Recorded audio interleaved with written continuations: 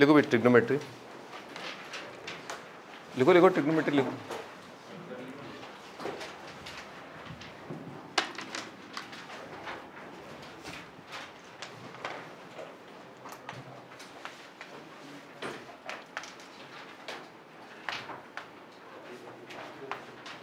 Trigonometry basically compound angle है ना? Compound angle कहते हैं। भाई तुम्हारा नाम क्या है? सौरभ। संस्कार। ऋषिकेश। हाँ। हैं? तुम्हारी तबीयत ठीक हो गई? पक्का? पक्का पक्का? सही बात है। चलो ठीक है तो कंपाउंड एंगल स्टार्ट करते हैं। लिखो। ट्रिग्नोमेट्री का मतलब क्या होता है है ना? ट्रिग्नोमेट्री का मतलब होता है स्टडी ऑफ़ ट्राइंगल है ना? ट्राइंगल के बारे में स्टडी करना। ठीक है अब ट्राइंगल के बारे में स्टडी करने का मतलब क्या है and why do we study triangle जैसे ए है, ये बी है, ये सी है। ठीक है? तो ट्राइंगल जो है, वो बहुत फंडामेंटल यूनिट होता है, किसी भी एनक्लोज फिगर का, है ना? क्योंकि कोई भी एनक्लोज फिगर या तो थ्री साइड का होगा, या फोर साइड का, या फाइव साइड का, या सिक्स साइड का ना? लिख लो। Fundamental of fundamental unit of any figure fundamental unit of any close figure triangle किसी भी किसी भी एनक्लोज फिगर का बहुत फंडामेंटल यूनिट है। बहुत ज़्यादा fundamental unit in the sense कि आप अगर देखें तो क्वाड्रिलेटरल जो है, उसको अपन क्या कर सकते हैं? We can study separately by dividing quadrilateral in two parts ये दो ट्राइंगल बन गए आपके। आपका अगर पेंटागन है, अगर पेंटागन है तो अगेन इससे आप क्या कर सकते हैं, कितने ट्राइंगल बना सकते हैं? तीन ट्राइंगल बना सकते हैं। ठीक है? लिखते रहो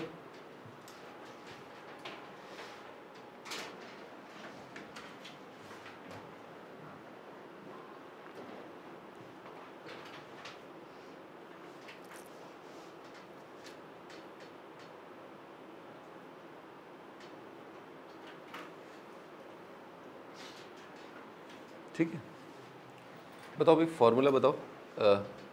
Sum of all interior angles of a n sided polygon है ना? लिखो बेटे। Sum of all sum of all interior angles of a n sided polygon sum of all sum of all angles of an n-sided polygon भाई, कहीं पर भी किसी भी शब्द में डाउट हो, है ना? बिल्कुल मत हिचकिचाना। किसी भी शब्द में भी डाउट हो ना, ध्यान रखना। वर्ड में भी डाउट हो तो पूछना ठीक है ना? जैसे मैं तुम्हें बताऊँ, बच्चे जो हैं, जब तक वो जैसे भीष पितामह है ना, उन्हें आखिरी तक पता नहीं चल पाया, ठीक है ना? उनको आखिरी तक पता नहीं चल पाया कि लड़ क्यों रहे, ठीक है ना? इनको ये लड़ क्यों रहे, है ना? तो पॉलीगन का मतलब रेगुलर पॉलीगन नहीं होता। ठीक है ना? पॉलीगन मतलब ज़रूरी नहीं है सारी साइड इक्वल हो। क्वाड्रिटल मतलब ज़रूरी नहीं है सारी साइड इक्वल हो, है ना? तो पॉलीगन का मतलब नहीं है कि सारी एन साइड जो है इक्वल होंगी। वो रेगुलर में होता है। ठीक है ना? अगर रेगुलर लिखा है, इसका मतलब सारी साइड्स इक्वल है, सारे एंगल इक्वल है। लिखो। Regular polygon all angle sides equal regular polygon में all sides angles equal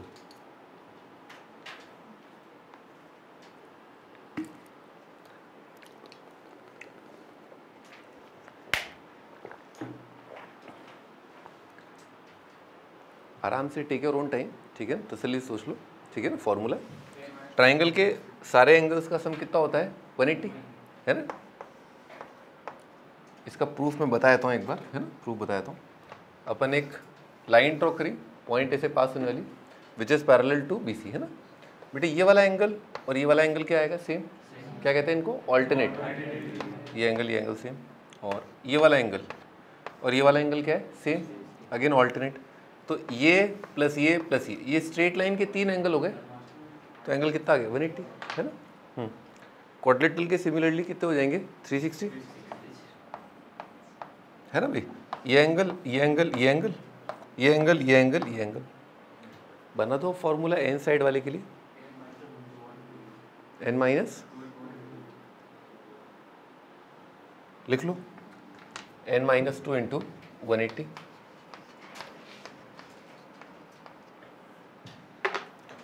n minus two into one eighty. ये कैसे आया ये फार्मूला? ठीक है ना? ये फॉर्मूला ऐसे आया कि भाई ये दो ट्राइंगल बन रहे हैं, है ना?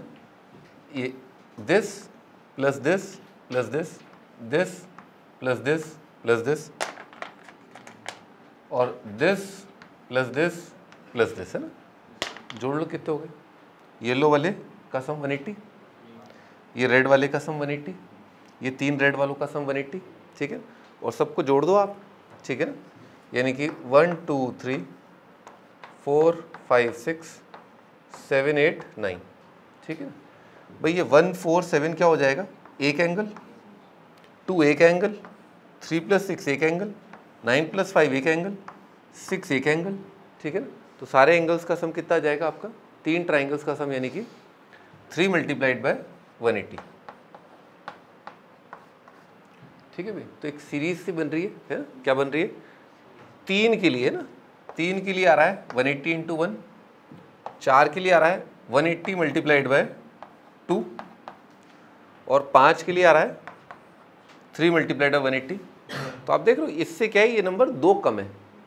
तो कितने ट्राइंगल बन जाएँगे उसके अंदर? एन साइडेड में एन माइनस टू ट्राइंगल्स बन जाएँगे। भाई कोई डाउट है इसमें?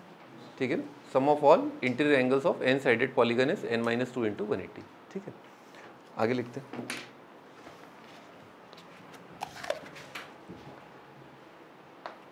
लिखो भी अगला डेफिनेशन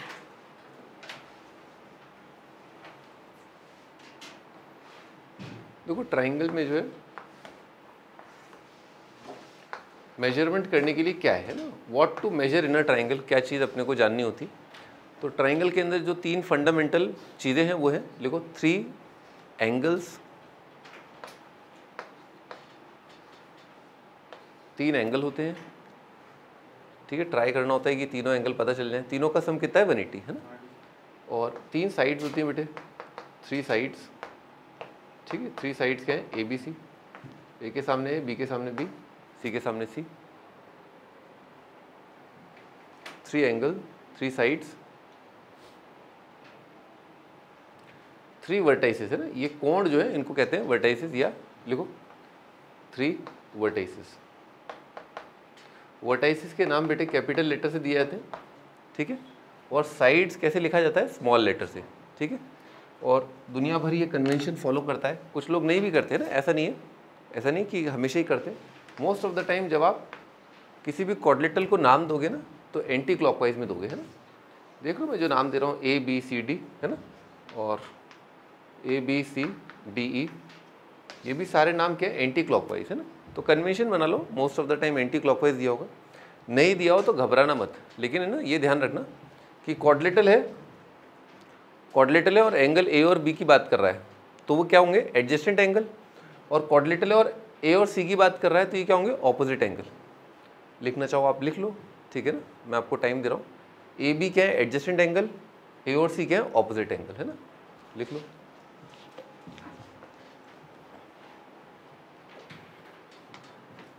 बेटे हीरोज फॉर्मूला पता है? आ, क्या होता है? Delta is equal to S under root S S minus S minus B S minus मैं लिखवा देता हूँ है ना?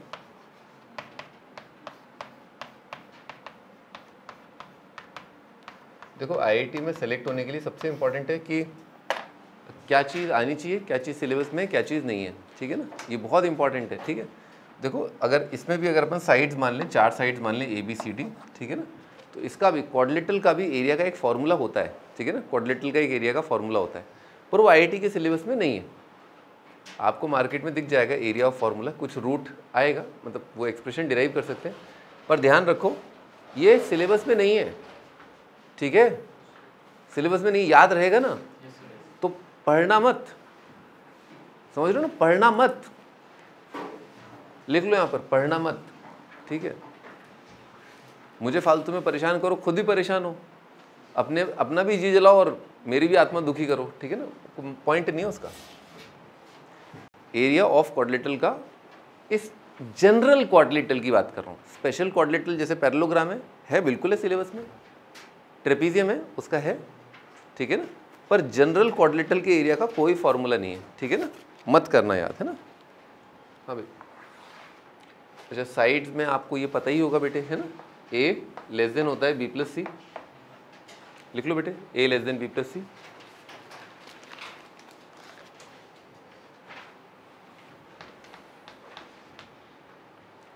I में आ चुका है ये। दो साइड का सम थर्ड से ज़्यादा होता है। ठीक है ना? पूछते हो इस पे सवाल। अब कैसे पूछते हैं? वो तो वही पूछते हैं, वही जानते हैं। अच्छा बहुत, सब लोग ये तो जानते ही हैं, सब लोग ये जानते हैं, ठीक है ना? पर एक्चुअली में जो लॉ है एक्चुअली में जो लॉ है वो ये कि सबसे बड़ी साइड ठीक है ना? एक्चुअली में जो लॉ है वो ये, सबसे बड़ी साइड का वैल्यू जो है, वो बाकी दोनों साइड से क्या होगा? कम होगा। ठीक है लिख लो biggest side less than sum of other two sides सबसे बड़ी साइड भी इतनी बड़ी नहीं हो सकती, सबसे बड़ी साइड भी इतनी बड़ी नहीं हो सकती कि वो बाकी दोनों छोटी साइड्स के सम से ज़्यादा हो जाए, वो कम ही होगा। बिगेस्ट साइड जो है B less than C plus A C less than A plus B एक ये इनक्वालिटी और आती है ना? ये इनक्वालिटी और आती है जो काफ़ी इंपॉर्टेंट है। इनक्वालिटी छोटा मोटा आता होगा, है ना? कि अपन ने मल्टीप्लाई किया पॉजिटिव नंबर से तो इनक्वालिटी सेम साइड रहता तो आता है ना भाई? देखो मल्टीप्लाई बोथ साइड्स पे मल्टीप्लाई बोथ साइड पे कर भी दो मल्टीप्लाई है? मल्टीप्लाई बोथ साइड्स पे ए काफ़ी दिलचस्प एक्सप्रेशन आएगा। बॉम्बे कलकत्ता।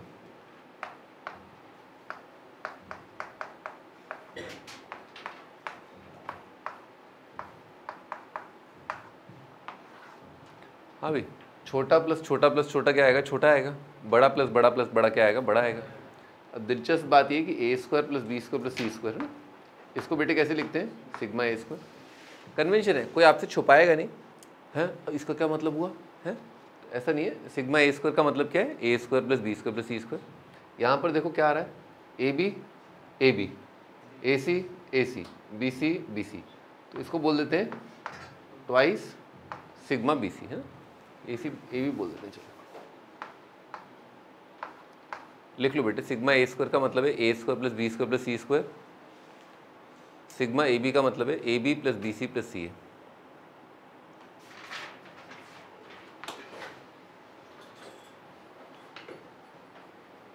ठीक है ना? ये बहुत इंपॉर्टेंट है है ना? A square plus B square plus C square less than होता है twice sigma A B less than होता है ट्वाइस सिग्मा ए बी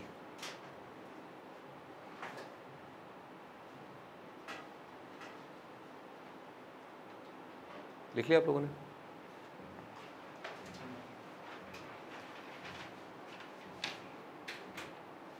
अच्छा ये छोटी मोटी बात है, पर आपको पता होनी चाहिए कि जो बड़ी साइड है है ना? उसके सामने क्या होता है? उसके ऑपोजिट क्या होता है? बड़ा एंगल छोटी साइड के सामने छोटा एंगल है ना? तो लिख लो angle B greater than angle A तो क्योंकि हम नाम ही ऐसे देते हैं ए के सामने ए बी के सामने बी, सी के सामने सी। तो अगर बी ग्रेटर देन ए है तो लिखो B greater than A angle बढ़ा तो उसके ऑपोजिट वाली साइड बड़ी। बड़े एंगल के सामने बड़ी साइड ठीक है ना? लिखो भी अगला टाइटल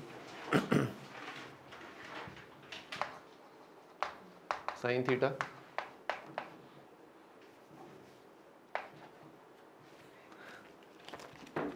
लिख लो, अपने से ही लिख लो। Sine theta is equal to this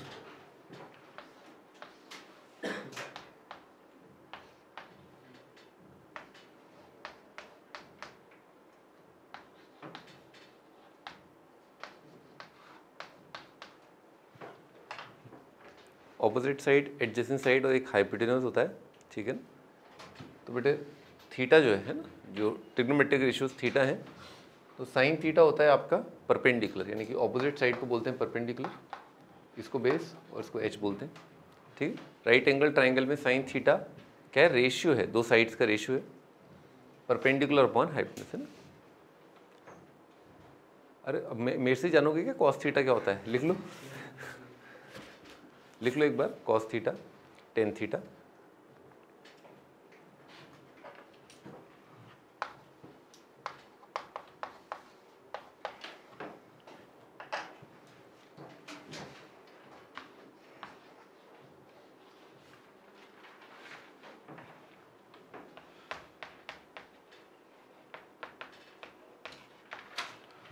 अभी तो ट्रिग्नोमेट्रिक चैप्टर के अंदर, ठीक है ना, दो फंडामेंटल ट्रिग्नोमेट्रिक रेशियो होते हैं, ठीक है ना फंडामेंटल ट्रिग्नोमेट्रिक रेशियो क्या होते हैं बेटे? दो फंडामेंटल ट्रिग्नोमेट्रिक रेशियो उनके नाम क्या है? एक है साइन थीटा और एक है कॉस थीटा ठीक है ना? एक है साइन थीटा एक है कॉस थीटा ये फंडामेंटल है। They are fundamental trigonometric ratios ठीक है? और बाकी सारे जो है ना, उनको क्या बोलते हैं? डिराइव्ड लिखो all other four are derived ratios all other four are derived ratios. बाकी सारे जो ट्रिग्नोमेट्रिक रेशियोज हैं, वो डिराइव्ड रेशियोज हैं। ठीक है ना? बाकी सभी जो ट्रिग्नोमेट्रिक रेशियोज हैं, वो डिराइव्ड हैं। डिराइव्ड का अर्थ क्या हुआ? ये तो फंडामेंटल है भैया, ये तो यही है, ये तो यही है। ठीक है? और बाकी जो है, वो आप इन्हीं की हेल्प से डिराइव कर सकते हैं। अर्थात, जैसे टेन थीटा टेन थीटा होता है आपका sine theta upon cos theta ना। लिख लो बाकी सारे। कॉट क्या होता है? Cos upon sine cot theta होता है cos upon sine cosec theta होता है वन बाय साइन और आपका सेक थीटा होता है वन बाय कॉस ठीक है ना? तो इन दो की हेल्प से आप बाकी सबको डिराइव करते हो, ठीक है ना? और ये डेफिनेशन है? ये डेफिनेशन है टेन का।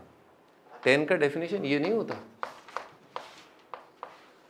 ठीक है ना? पहले ये आता है, फिर ये आता है। ठीक है टेन का डेफिनेशन पी बाय बी नहीं है, टेन का डेफिनेशन साइन बाय कॉज है। ठीक है? ऑफकोर्स वो आ जाएगा। मेरा कहने का मतलब ये था बेसिकली कि जैसे अपन ये काट देते ना तो ये काटते टाइम ध्यान रखना। ठीक है ना? ये कैंसिल आउट करते टाइम थोड़ा ध्यान रखना। ठीक है? वो रखोगे तुम, जब मैं धीरे धीरे गलत जगह काट दूँगा ना, तब तुम खुद ही ध्यान रखोगे हाँ या तो गड़बड़ हो गई।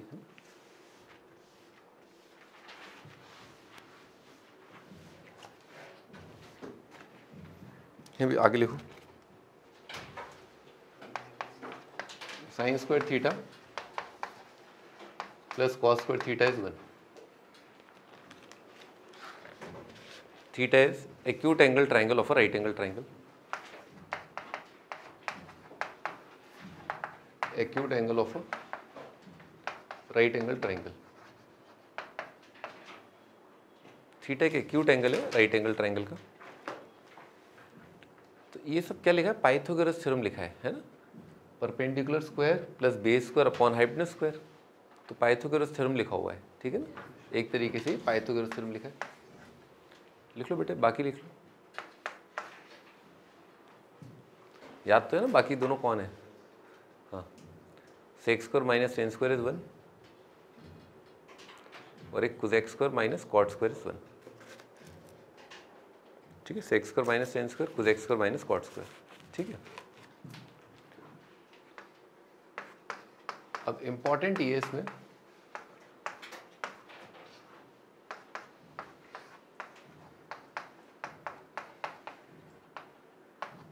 ठीक है ना? Sec theta minus tan theta का रेसिप्रोकल क्या है? Sec plus tan only because A minus B multiplied by A plus B कितना आएगा? A square minus B square और वो कितना हो जाएगा? Sec square minus tan square is equal to one so basically आपको ये फील आने के लिए कि दोनों रेसिप्रोकल हैं, आपको दिखना चाहिए। अगर ये लिखा है आपका वाई तो sec theta plus tan theta हाँ बेटे, ये कितना आएगा? प्रोडक्ट वन आएगा ना? इन दोनों को मल्टीप्लाई करेंगे, वन आएगा। तो इसको किससे मल्टीप्लाई करें कि वन आ जाए? वन बाय वाई अगर सेक प्लस टेन वाई है तो सेक माइनस टेन क्या होगा? वन बाय वाई होगा। कोई डाउट तो नहीं है? ना हाँ लिखते चलो। अभी तो बहुत सिंपल सिंपल चल रहा है।